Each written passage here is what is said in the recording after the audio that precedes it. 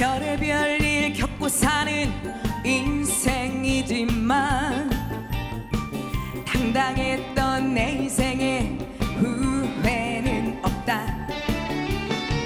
가졌다고 잘났다고 기죽을 줄 아냐. 너나 나나 사는 것은